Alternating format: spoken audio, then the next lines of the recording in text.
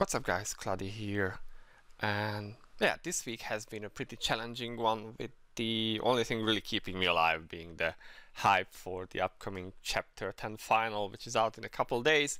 But Vespa has today released the uh, results of um, the recent uh, satisfactory survey and it's some pretty interesting stuff so I wanted to go through it and just reflect a bit on these results. So let's get right to it, see what they have learned from all our feedback. So the first part in this section is um, which part of the Little Radar content do you think needs improvement?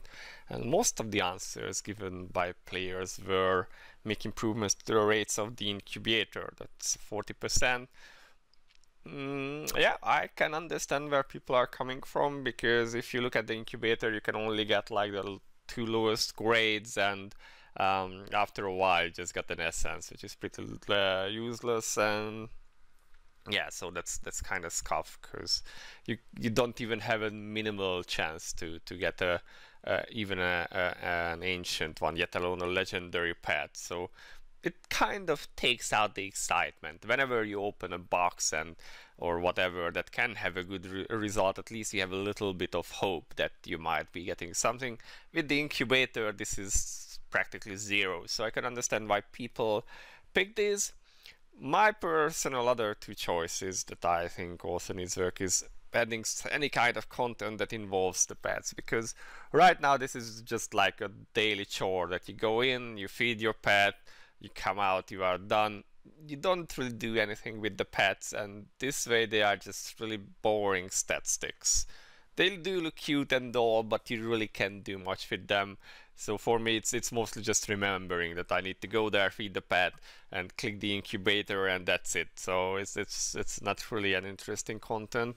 And the other thing, which I think is perhaps even more important for the health of the game, is the line friends issue.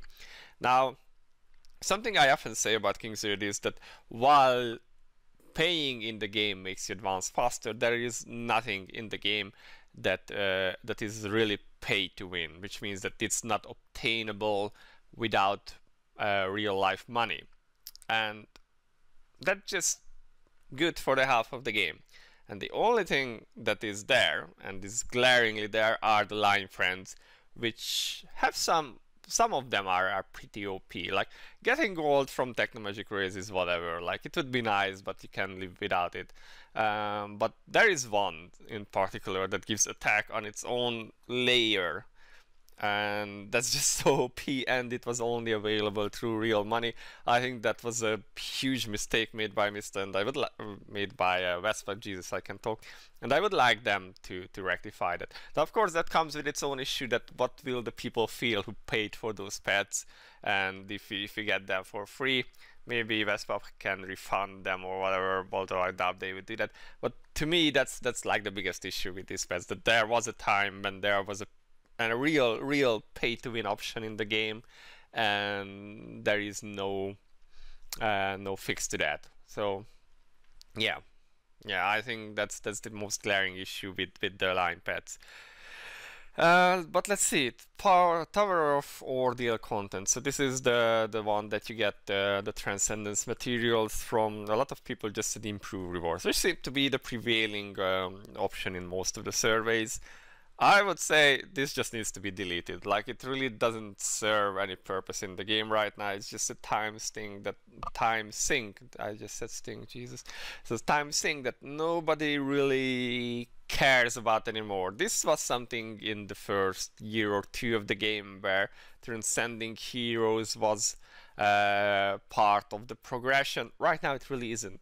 You can auto this to, to the maximum stage like a couple days into the game you can you can already play this on auto and um, the rewards are, are really passive and not interesting. Just pick them into stockade and then give us back our time so we can forget about this one. Unless we have something new mm, new kind of mechanics just for you um, that that uh, needs hero improve, improvement materials. Otherwise I would just say just uh, save us the time remove this from the game and just bake the rewards into Stockade. Dragon Raid and Hard Mode Dragon Raid again improve rewards, which um, Now the issue with, with Dragon Raids really is that it's just outdated content. Nobody really cares about Dragon Raids anymore. You might use some of the pieces while you uh, progress into into like Manticore gear or TM gear. Um, improve rewards like you would need to improve Dragon gear for that, and um, yeah, I mean it doesn't really serve a purpose anymore unless they redid the whole armor sets thing uh, to make them viable options. I don't think there is really a chance.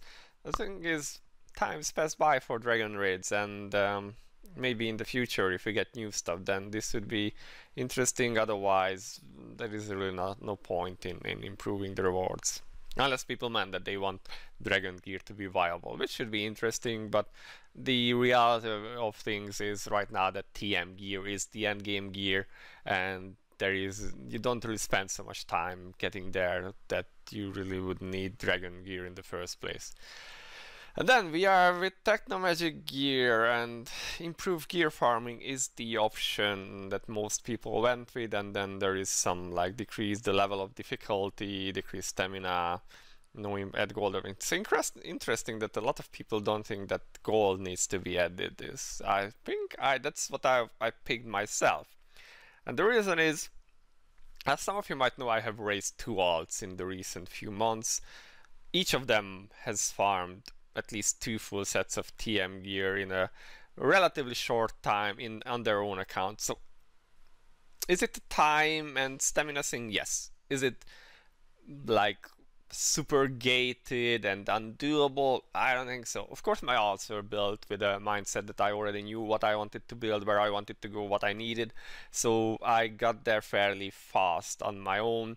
I can understand that if people who don't build in, in with such a mindset might be struggling with it, both with the difficulty and with getting the gear sets done. Hmm I can both see the merits of this and, and go against it. The the game does need to provide you with progression and, and need to give you challenges and need to need to make you spend time with it otherwise it will just get bored too fast but i can also understand that uh, in itself um, this can be very frustrating especially with the rng factor and if anything that's what i would change like both the stat rerolling and the randomness of the lines that you are getting. Maybe there could be like groups as uh, of stats. Like if I want to gear my tanks, I don't want to keep getting ignore defense line on, on knights because uh, or or deals more damage lines or mana recovery because the truth is in most cases that's not what you are looking for. So it, and then it can get really frustrating when sometimes you, you craft 10 pieces and get a full set for, for one character and then you burn through 200,000 crystals and you do not get a single line that you wanted because the pool is just so big that you don't even get any pieces that you would even consider equipping on that character so that you were trying to craft for. So yeah, I would say improve the RNG part. Make it less less frustrating that you are so much at the mercy of, of the randomness. Of course, this is also part of the game that uh, giving you time things, not letting you just pick out everything you want, but maybe that could be done in a more sensible way. And I hope that this will be the case with the enchantments. If they group them together like they did with the with the old uh, Dragon Raid hard mode scrolls, where you really just got so random stuff that it was really frustrating. All the p-buck lines whenever you try to uh, gear or DPS were just frustrating. All right, let's see. Um, which part of the world boss content do you think needs improvement? Um, again, a lot of people pressed improve rewards, which is um, kind of curious. I think the rewards of uh, world bosses are are kind of alright. You get rubies, you get the crystals, um, I don't think that's that's really a big issue. One issue with them, I would say, is as people point out, we need new world bosses. In the four years of the game, we have three world bosses in total, and Buy has promised to give us a new one this year, so that would be kind of nice to have. Um, so that's one thing, and interestingly, it's not really mentioned here, but two things: the balancing you can see Xenadis here and the, the whole physical buff on it just needs to go away in my opinion. We have one magical boss where a lot of physical heroes are doing a lot better than magical ones. We have one physical boss where you can't really use magical heroes. And then we have the, the neutral one, Xenadus, where physical is absolutely dominating because of a stupid buff was given to the boss itself, that it takes more physical damage. I think that should be balanced out. And my other gripe with, with world bosses is the randomness that just affects your score so much. And when you are a tryhard who really wants to get a good score, that can mean hours and hours of trying to get a decent run in just because RNG is screwing you because you are so much at the mercy of the of the patterns of the bosses which you have no influence on and I think people don't really like or enjoy that so personally, I would say that's that's a bigger issue. I do enjoy the content, but I don't want to spend five hours on it a day just because I, I need to get to a point where it doesn't take the boss 20 seconds to cast her three skills instead of 15, which will, yeah, just uh, change my, my, my score so much. So uh, that's my opinion on it. Um, which part of the Stockade Vault content do you think it needs improvement? Increase the number of entries. They kind of fixed this because now you can do all of the dungeons uh, without limitation, like like you don't have to choose between them. And by adding Nikki, you get an extra key for all of them, so that's kind of nice. Um, yeah. So I think Stockade is in a good spot, uh, good spot right now. Which part of the Tower of Challenge content do you think needs improvement? 50% said improve rewards. Hmm. I think new stages would be nice. Some of these are actually pretty fun. Um, I would say the the difficulty curve is a bit weird because up to stage 75 or so there is like maybe one or two stages that you can't really auto through but but once you have like a decentish team you can really just get there relatively easily. And then you start to run into to bosses that have very specific requirements and my favorite the lamp from hell is like if you do not have a specific hero then you just it's just very hard to get through it. So um, but yeah i think the rewards themselves are pretty fine. You get rubies you get all sorts of goodies um, I would like to see new stages and maybe a bit of a look at the difficulty curve because I think some of them are still a bit out of line while most of the stuff is a bit too easy. Uh, so new stages maybe with new rewards that would be nice. And kind of ties into it but the artifacts the whole situation in the artifacts department and maybe this also ties into the world bosses is a bit of a mess in, in, in King's Raid and I would say that's the most gated content and and the biggest difference between an old slash whaled account and and the not so old or or whaled one is is the artifacts everything else you can kind of get without without too much uh, time spent. So yeah, let's see which part of the Royal Underground Labyrinth content do you think needs improvement, improve rewards? Well, that, that part is getting a bit boring.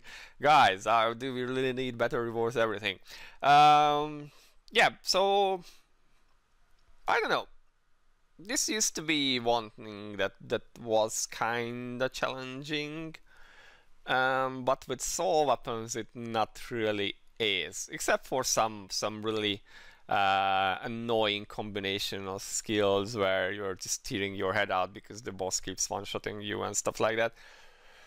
And in comparison to that, random unique treasure tickets are, and sometimes you feel like it's not really worth. But um, once you have a decent team that can go through them, it's not really that interesting. So I would say make them a bit more interesting maybe and and bring the rewards in line with that maybe um, yeah difficult we have a lot of content in King's Raid and, and maybe in some cases it would be better to just like uh, cut them out and then give the players some slack too because too much content too much enforced content just kind of leads to to um, people burning out in my opinion.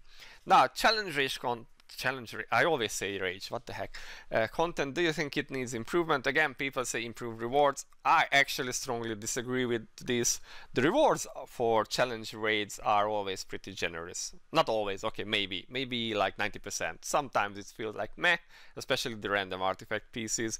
But um, the rewards tend to be pretty good, and these are not really stuff that you need to run every day, seven days a week, four weeks a month. It's not. So I think that the rewards and the difficulty are, and the the uh, effort that you need to put into it are pretty much in line. So I don't think this needs improvement at all. What I would like to see is is more more raid bosses actually, because um, we haven't really received a new one in in forever. I'm not even sure when Kalexos did. And um, we had like the ones for DLK and Fallen Fray, but that was only like for a limited time and it never came back. So again, add just more of them. Make make it interesting again by giving us more bosses. Some of them are, are really not entertaining anymore. This was a fun thing that I, I used to like to do with friends and guildies and stuff where we would actually have to try and do this. But nowadays, again, even if they keep increasing the the damage and the health of the bosses, most of the time it's just really some of them are soloable, like the one here. Um, yeah, some new bosses with, with interesting mechanics would be nice, I think. Um, I don't necessarily think that we need better rewards from them. I think just we just need better content. Um, okay, repositorium, improve rewards. Yeah, this is uh, this is like a two years outdated uh, stuff that no Vespa hasn't touched in forever. Um, sometimes I, I go back to do it just to like complete the stamina mission, the weekly one when I was say farming TM gears but didn't get 100 drops in a week then I would maybe finish it off just to get those stamina potions. But yeah this one is is super dated because it mostly gives dragon gear which is also dated. So yeah this could use a rework. Um, the boss itself is like you know multi-hit boss. So again very much reliant on a specific type of hero that you may or may not have in that pool of 100 heroes it's not challenging or fun to do and the rewards do not make it worth so yeah. Either delete this or or make it relevant in some way in my opinion. Which part of the sub story content do you think needs improvement? Thankfully the winner isn't improve rewards this time. It's add new sub stories. I'm fully on board with that. I really like these getting to know the characters a bit more, more know their history a bit more. That's pretty good because after all, this is a, a somewhat immersive RPG game, and um, yeah, getting to know about those those stories, those characters, is what really makes it fun, in my opinion. I really enjoy them, especially the some of the latter ones. I really like, say, Priscilla and Crow uh, that have some pretty nice depth to them. And yeah, yeah, I think we definitely need more of these. Um, I would say that. And then there is this question, which content from King's Raid do you think needs the improvement? Technomagic wins by far. Hmm. I don't know. I don't really know there needs to be something to be done in the game other than the the daily um, missions and stuff. And I don't really mind Technomagic raids. It's it's it's a process. You need to put in the time and the effort, but uh, I don't think it's too bad really. So I actually disagree with this one. Um, I would put a lot of other stuff ahead of that. Some as we have discussed. Um, yeah. I don't think Technomagic needs that much of a big change really, but of course your mileage may vary on this one. Alright, let's see, survey about customization and costumes. So yeah, hairstyles. Hairstyle is, is definitely the number one choice for me as well because this is something that they started implementing and with a lot of characters they just gave the coming soon options and never went with it. And it's been many many months where where we have been waiting that other heroes receive these kind of options too. So it would be nice if Vespa delivered on that. Um, as I recall based on their costume post this is actually a huge amount of work to make the models updated. So probably that's why they haven't done it yet. I personally would like them to get around to it because it's it's just something that we should have in the game. If they introduce this feature, then they should go all the way and just do it for everyone, in my opinion. Moving on, what kind of costumes do you want us to release in the future? Now, this is curious because I thought that they gave the answer to this before and said that it was the heroes that are owned by the most readers. I'm glad that in the end this is not what won based on on this uh, feedback here, but the that they want uh, or that we want costumes to be balanced by the overall uh, number of uh, costumes owned by each hero. Mm, yeah, I agree to that because everyone has different tastes, and just because the character is less new or less popular these days, uh, uh, days, it doesn't mean that there is nobody who likes them and that they shouldn't be uh, uh receiving updates to their characters, new stuff to their characters. So yeah, just give it uh, balance the number. Like there are characters who have who barely received any kind of love in terms of the costume uh, department, while others just keep getting new ones. And I can see how this frustrates people who would like to see more stuff for those heroes too. So yeah, totally on board with this. Moving on, which teams of costumes do you like the most? Swimsuit and wedding ones are really, and wedding swimsuit, alright there seems to be a pattern there guys I can tell why you guys love this you just have to look at the picture here um, mixed feelings on my end if you have talked to me about costumes before you know I personally don't like to send my uh, my girls and boys into battle wearing swimsuits because it's just weird to me. Like I like to be a bit more immersed in, in like the whole fantasy setting and and if I go into battle I want to wear armor. So it would be kind of cool if we had maybe like actual armor costumes that people can wear in battle, you know?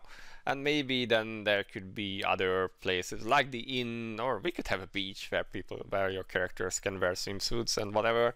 Um, but yeah, I understand why people like these. I can, I can understand. So, hmm.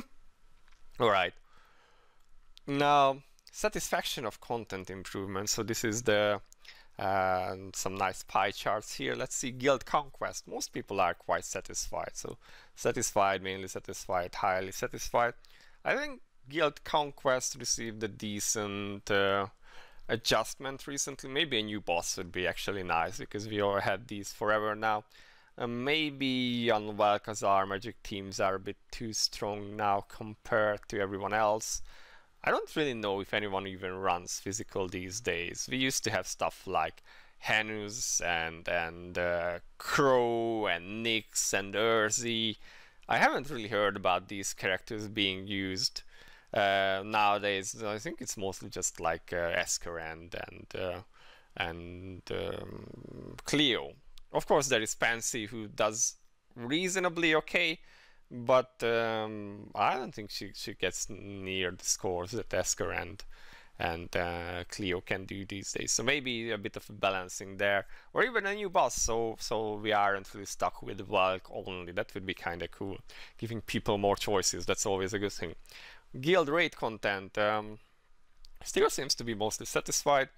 I think the recent changes were quite nice. They have updated the rewards to be more. Um, more um, more in line with where the game is now. I think this is fine. I don't think they need to change anything about guild raids nowadays. Recent balance adjustments. Now this is the tricky one. A lot of people actually feel satisfied with this, mainly satisfied. And then there are those who are not very satisfied, um, highly satisfied, not at all. I think most people are, are kind of okay with the balance adjustments, the recent ones. Let's not talk about the meme November one. Um, yeah, I think they. The, at one point, there is the part that uh, they only do like two heroes a week now, and that's really slow. So if someone is waiting for their favorite character to be updated, um, then that's gonna take forever. Meanwhile, not everyone agrees that the uh, the updates are really that good. Like some say that it's not good enough. Um, like people weren't really satisfied with Shamila. Um, on the other hand, um, some characters like um, Yuria and Scarlet became pretty powerful. This is especially in PvP changes. Um, to the point where they, you might call them broken really i heard the new Kasel is very strong i still have to make a video on them on him um, so yeah in some sense they did deliver. Sometimes maybe they went a bit overboard, in my opinion. Um, but I don't think there has been from the recent ones any that were terribly underwhelming. So I think I'm, I'm mostly good with it. Would be cool if they could do it faster, but as long as the uh, the slower pace means uh, an overall better, uh, higher quality in in the balance adjustments, um, then that's fine. So if you compare the current Shamil update to say Crow's 1.8 or 1.7% DPS increase, I would take the Shamil one any any any time really. So it's um yeah if you if you compare the two and doing good work and doing good work fast are two very different things. So in in so if we want to see regular updates to these heroes, then we probably just have to accept that it takes longer to do uh, more so uh, true true changes, and um,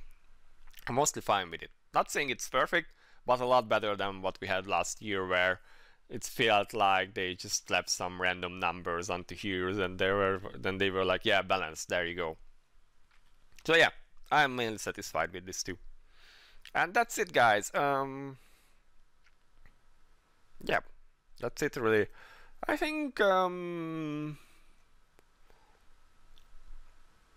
i think mostly the the community understands what's wrong with the game and hopefully Vespa will understand too. We get to see how they react to this. I don't necessarily think that everything just needs more and better rewards. Um, it still needs to be a game, you know. It's not just like a click the button and collect your stuff because then it's no longer a game. But I do understand where people might be coming from, um, asking for better rewards too. So yeah, this was my take on the survey results. Let me know what you guys think. Did you vote for these options? Did you vote for something else? If you did, why did you? Let's discuss it in the comments. You know, I like to check on this also. This week I really, really was so busy and dead that I barely had any time to check on those, but I'll try to get back to those as well. So yeah, alright, this has been Cloudie for now, and I'll see you in the next one, hopefully this week, and if not, then the next week when we do the whole chapter 10 hype. Until then, see you. Bye bye.